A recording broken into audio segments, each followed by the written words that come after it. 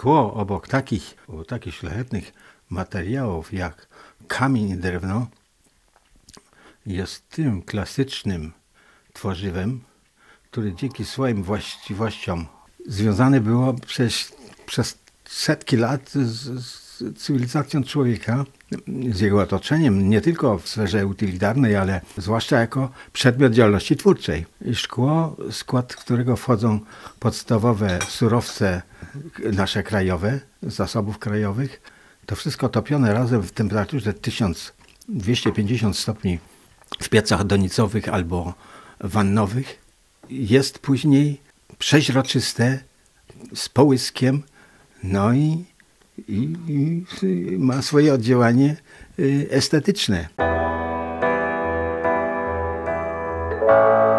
Rewiry kultury.